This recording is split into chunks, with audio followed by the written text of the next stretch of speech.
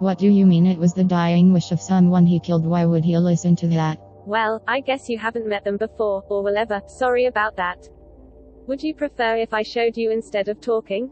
What are you going to show me? Well, we would have to land back on Grimalkin, so you know what that means. Looks like you finally got your wish. What wish? To the space pirate, you've already conquered a ship. Haha, I guess you are right.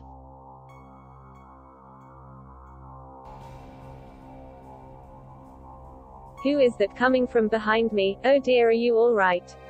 Here, it is requested that you build this.